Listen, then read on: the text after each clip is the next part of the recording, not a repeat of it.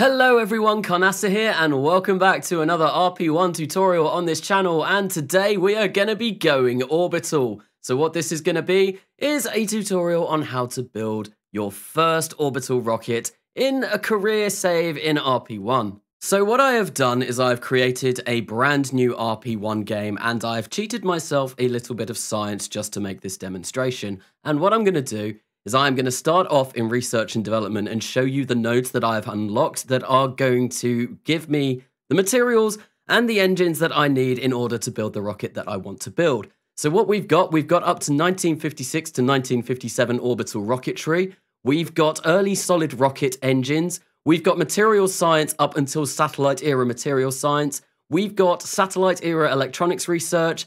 We've got satellite era science. And then we've got avionics prototypes. And I haven't gone and I haven't unlocked any of the supersonic development science because I don't actually need that for what I'm going to be doing. This is everything that we're going to need, and this will be able to achieve our first orbital contract as well as our first scientific orbital contract. So, in order to achieve that scientific contract, we do need this satellite era science unlocked because it provides us this Geiger Muller counter, and we do need one of those in order to fulfill the contract requirements. Now that I've shown you the technology that we're going to be working with, well, it's time to get on to the main focus of this video, and that is, of course, going orbital. So the first thing that we're going to want to do is we're going to grab some procedural avionics. Now we're going to set this to science core, so we're not going to be able to control this. We're going to switch to avionics prototypes. I'm going to close that, and then I'm going to make it a smooth cone because I really like the look of smooth cones and I think this will be what we want. So we're going to set the top to zero, we're going to set the bottom to 400 millimeters, and then we're going to reduce the length just a tad. Ideally, we want our avionics utilization, which you can see here, to be as close to 100% as possible. Now, in order to complete that first scientific satellite, well, this needs to last up to two hours in space. So we're going to set our electric charge to 300. Now, if we come out of there, we can see that in this lovely Kerbalism screen down here, which you can access by clicking this button here, well, we've got a duration of 3 hours and 5 minutes. So that's going to be good for our first scientific satellite. Unfortunately, we do need some scientific experiments on board as well, so we're going to open up the action window again, we're going to navigate down to configuration, we're going to configure experiments, and we are just going to scroll through these until we get radiation detector 1, because that is the experiment that we need in order to complete that contract. Now, we can grab some more scientific experiments, and I think what I'll do is I'll just place a thermometer and a barometer on here, but nothing else, because like I've already mentioned, we want to save as much weight as we possibly can. There we go. The last thing that I'm going to do is I'm going to make it a round one because, you know, I think that looks a little bit better. Now that we have got our probe core all done, we are going to go over to coupling and we are going to grab ourselves a procedural decoupler. So what we're going to do is we are going to make this the same diameter because this is going to be the only stage that remains in space. Well, this stage will as well, but this will be our main stage that we get up to space. So I'm going to get rid of the fillet we are going to get our length down as much as possible, try and save on that all important weight.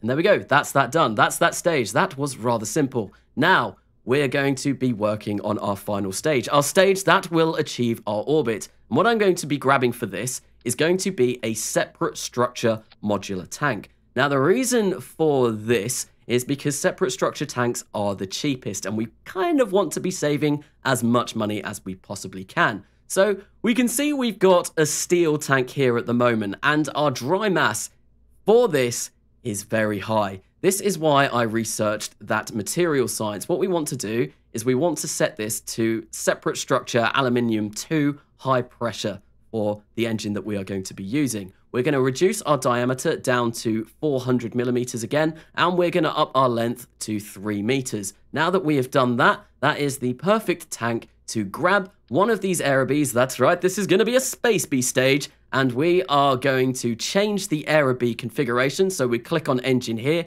We purchase the AJ1027. Perfect. Now, we're going to fill this up with the required fuel, so we can just go and select that there. So we can have a look. This engine's rated burn time is 52 seconds. If we go over here, if we take it off and place it back on again, it's 52 seconds. You can see that over there. So this 400 millimeters by 3 meter tank is perfect for this. Now, you may notice my ignition failure rate is currently at 5%. Obviously, getting to your first orbit, you will probably have launched quite a few sounding rockets by this point. So, if you are running something like TestLite or test flight, well, that should be a fair bit lower because you will almost certainly have used quite a few of these Aerobee engines. So, don't worry about that for now. It should be a bit better than that. But there we go. That is basically our stage that is going to get us to orbit. Now, I did mention earlier on that this is uncontrolled. So in order to keep this pointing prograde when we want to, we're going to come here and we're going to grab two of these separation motors. And what I'm going to do is I'm just going to whack them there like that. I'm going to grab them and we're going to rotate them 15 degrees. This, if it plays two, why didn't it place two?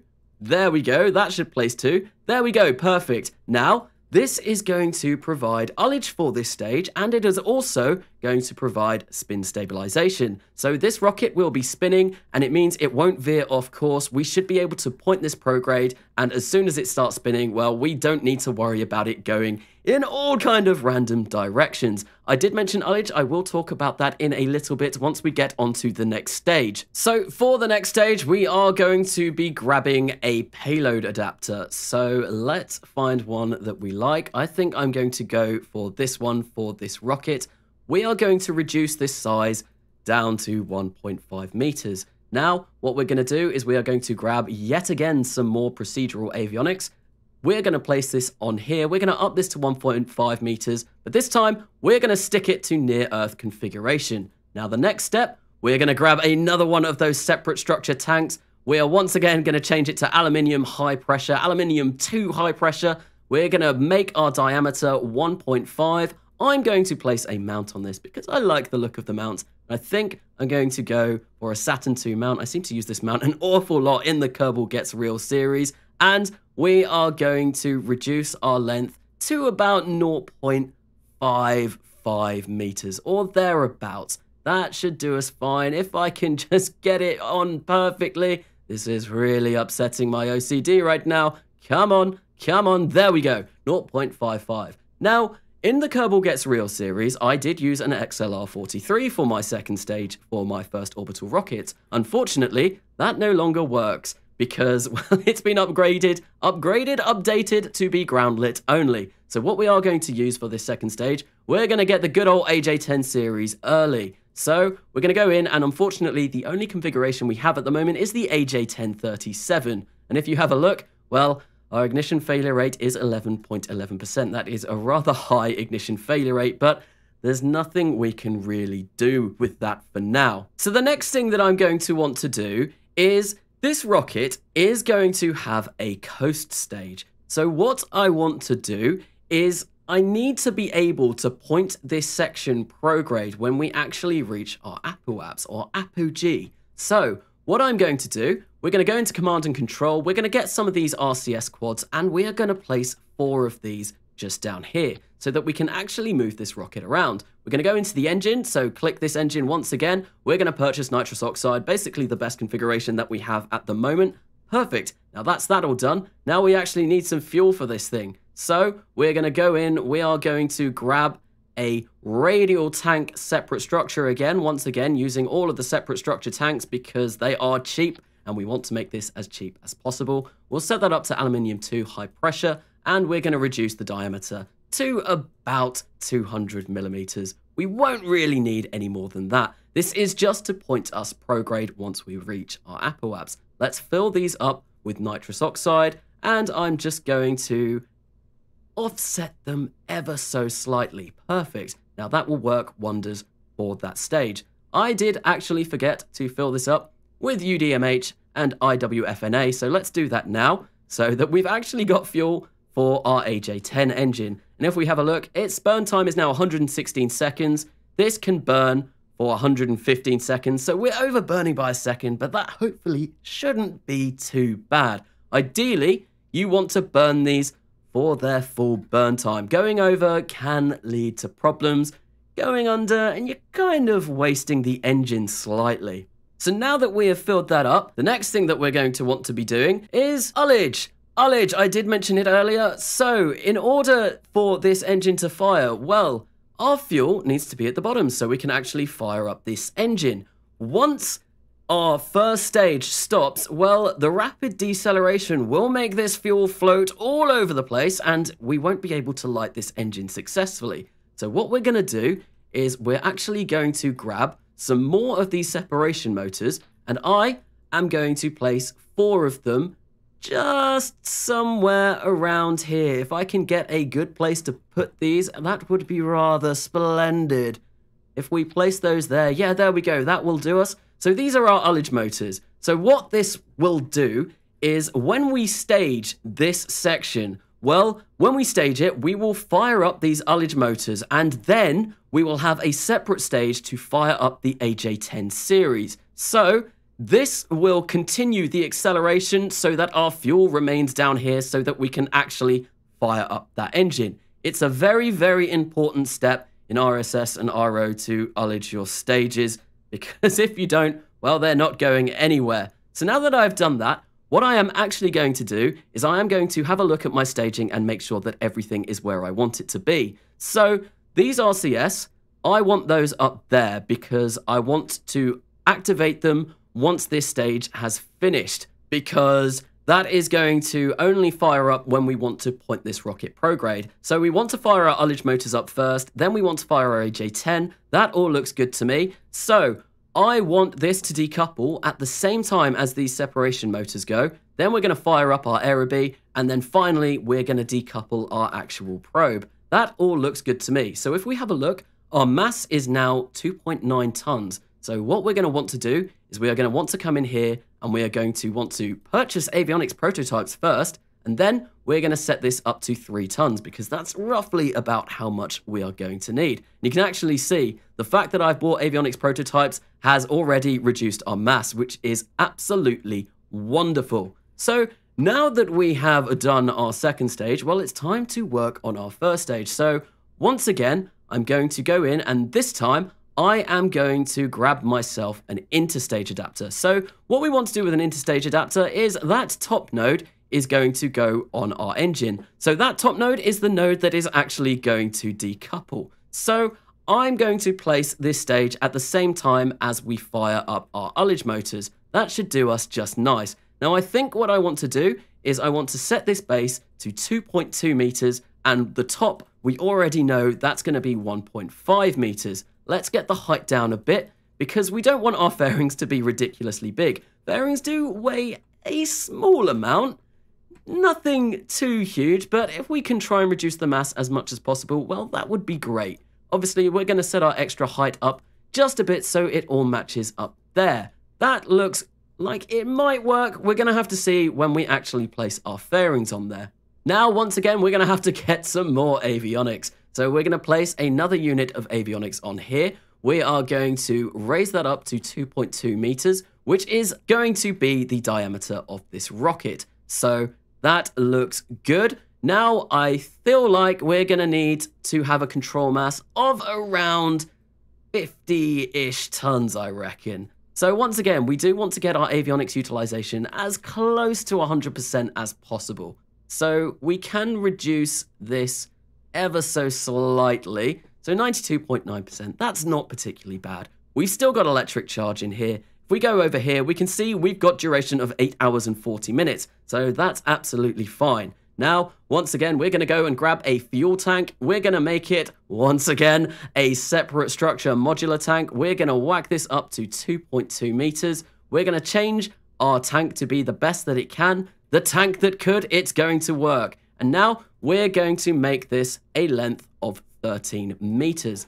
There we go. That looks rather promising. So the engine that I'm going to be using on my first stage is going to be the LR79. So here we go. Here it is there. We can whack that on. And of course, we've only got the S3 configuration at the moment because we have only unlocked 1956 to 1957 orbital rocketry. But that doesn't matter. That does not matter. So now that that's done, what we need to do is we need to fill this up with Kerolox, so RP1 and liquid oxygen. And we can see now we've got 10,897 meters per second of delta V. So this rocket is going to be way, way more than capable of achieving orbit. So this is pretty much the general structure of this rocket all done. There are a few other tiny little bits that I'm going to want to do. So I'm going to add some separation motors to this stage here, just so that this stage can go shooting back down to Earth whilst we take our second stage upwards and onwards to orbit.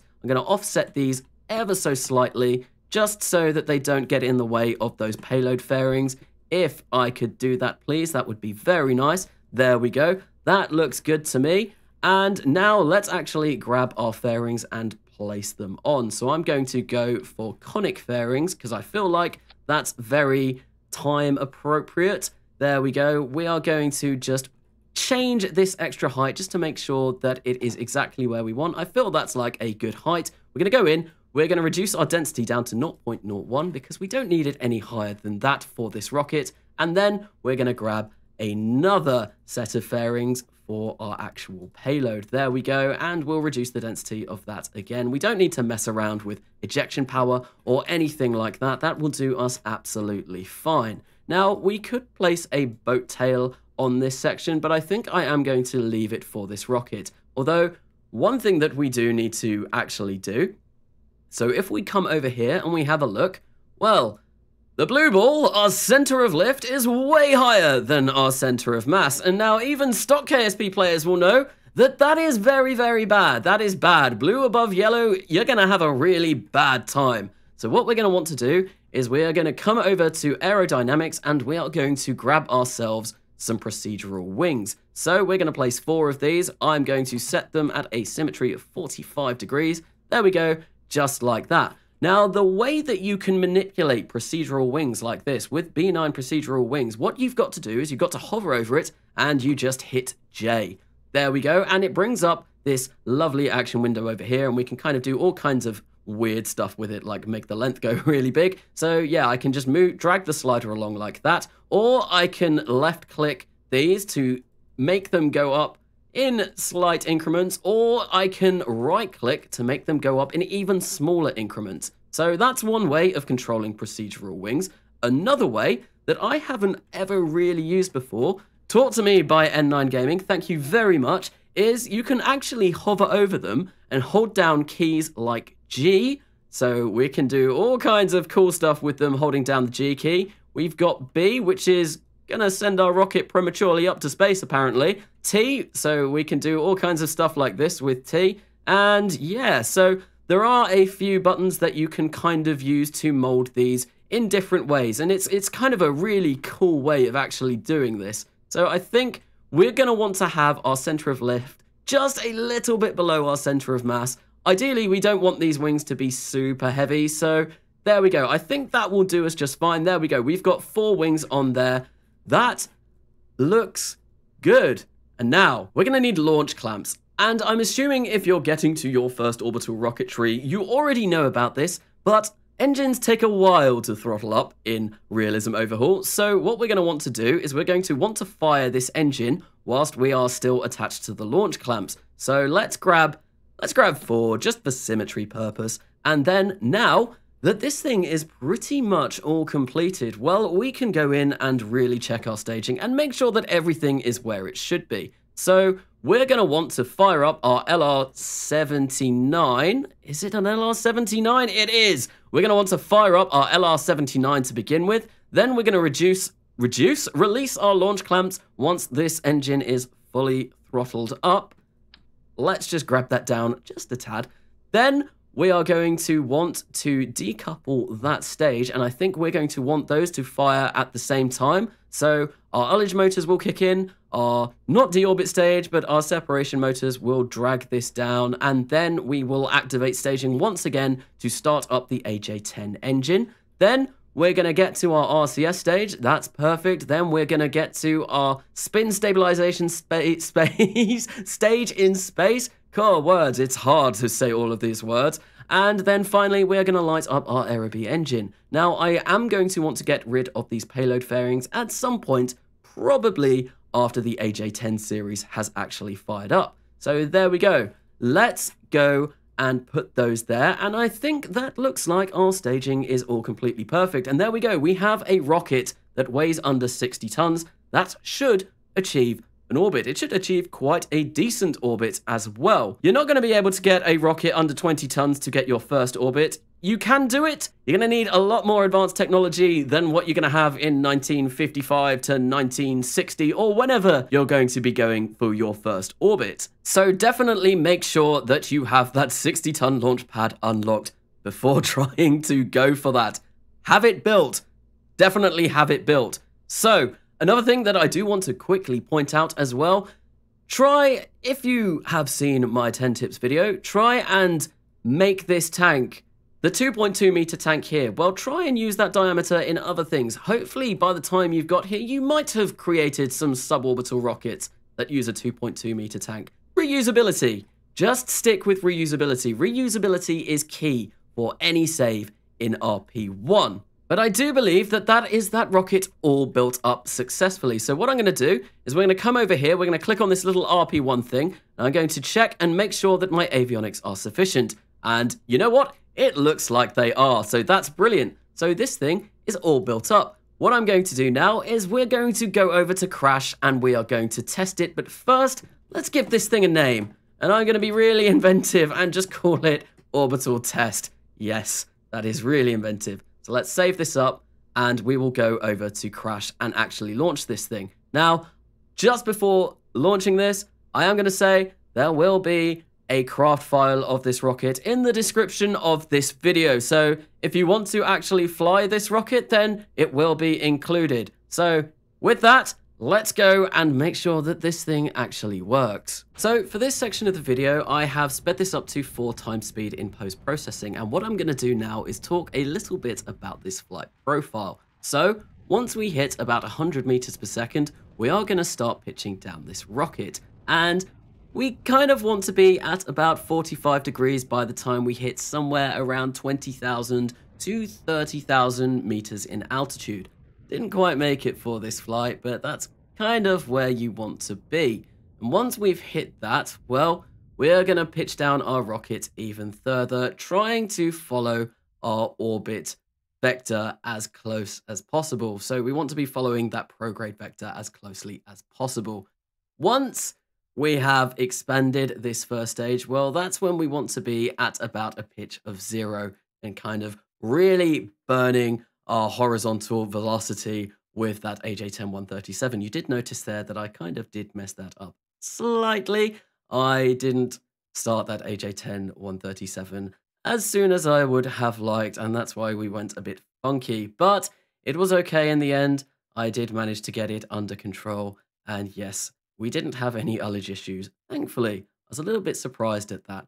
There we go. The AJ10 137 has finished its burn. So now is our coast stage. What I want to do for this is I want to wait until our time to apoapse is about 26 seconds because our last stage burns for 52. So we're going to point at prograde. We're going to wait until it's roughly halfway to our time to apoapse. That really fast spin there was us actually achieving our orbit. So there we go. We can see we have actually made our orbit and it is quite a high orbit. It's a very eccentric orbit but you are going to be kind of getting these kind of orbits with your first orbits anyway. So there we go, we have a rocket that can go orbital. Now there is one final little piece that we do need to do, and I would highly recommend testing your rocket before doing this, just to save you a lot of headaches and a lot of money. So we're going to come into the avionics screen, well, the RP1 screen, and we're going to go over to tooling, and we are going to tool all. So this rocket will cost us 60,000 to tool this, but as I did mention earlier, you might have used some of these diameters already, so it might not be this bad, but we're going to purchase this, and we can see that our cost goes all the way down to 2,209 funds.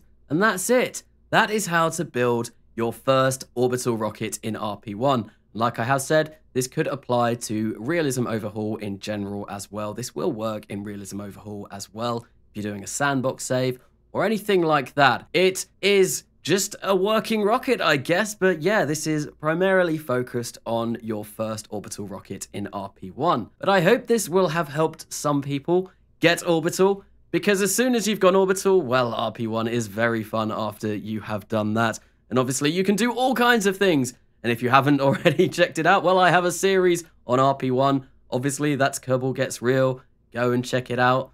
I have gone way further than just getting Orbital. And yeah, no, it's all really heating up in the series at the moment. But that is the end of this tutorial video. If you have enjoyed this video, why not give it a like? If you have really enjoyed this video and would like to continue with the content on my channel, please do consider subscribing. I have been Carnasa, and I will see you later.